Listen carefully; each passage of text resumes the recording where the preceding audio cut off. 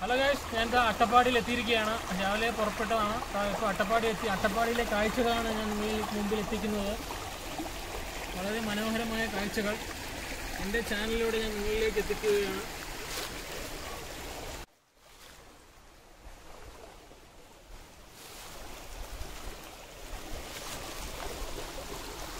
എനിക്ക് നിങ്ങളോട് പറയാനുള്ളത് മാക്സിമം ട്രാവൽ ചെയ്യുക മാക്സിമം എക്സ്പ്ലോർ ചെയ്യുക.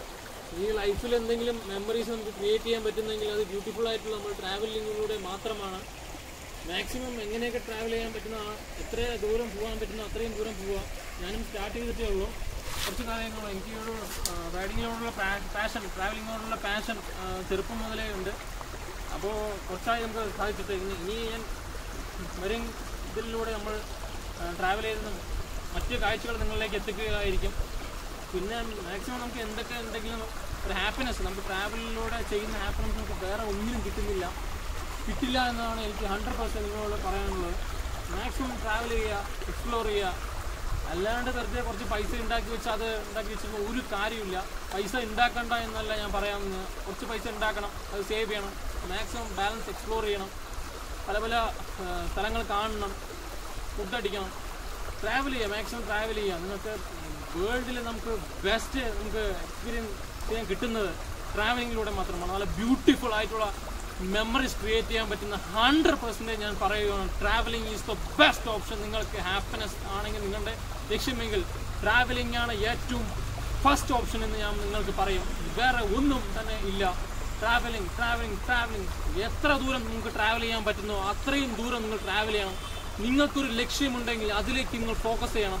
അതിൽ ആ ലക്ഷ്യം മാത്രം കണ്ട് നിങ്ങളത് വർക്ക് ചെയ്യണം. അപ്പം നിങ്ങൾക്ക് ഫസ്റ്റിന് നിങ്ങൾ സക്സസ് ആവണമെന്ന് ആരും പറയില്ല ഞാനും പറയില്ല. ഒരിക്കലും നിങ്ങൾ ഫസ്റ്റ് അറ്റംപ്റ്റ് സക്സസ് ആവില്ല.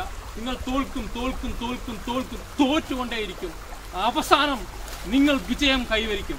അതുവരെ നിങ്ങൾ അതിലേക്ക് ഫോക്കസ്ഡ് ആയിരിക്കുക. അത് നിങ്ങളെ ഇന്ന് കുറ്റം പറഞ്ഞവർ അയ്യോ അവനൊന്നും ആവില്ല. അയ്യോ ആ ചെക്കൻ ഇങ്ങനെ തിരിയുന്നു അങ്ങനെ തിരിയുന്നു മറിച്ച് തിരുന്നു ഒരു പണിയും തൊരവില്ലാതെ അപ്പുറത്തെ നിൽക്കുന്നതായിരിക്കും. ഇങ്ങനെ ഓരോന്ന് പറഞ്ഞ് നിങ്ങളെ നിരുത്സാഹപ്പെടുത്തുക. അതൊന്നും കാണിക്ക വെക്കാതെ അതൊന്നും കാഴ്ച വെക്കാതെ നിങ്ങൾക്കൊരു ഡിറ്റർമിനേഷൻ നിങ്ങൾക്കൊരു ലക്ഷ്യമുണ്ടെങ്കിൽ അതിലേക്ക് മാത്രം ഫോക്കസ്ഡ് ആയ അത് മാത്രം ലക്ഷ്യം കണ്ട് നിങ്ങൾ വർക്ക് ചെയ്യുക.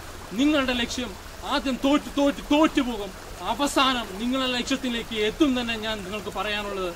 നിങ്ങൾ ആ ലക്ഷ്യം വരെ പോരാടുക.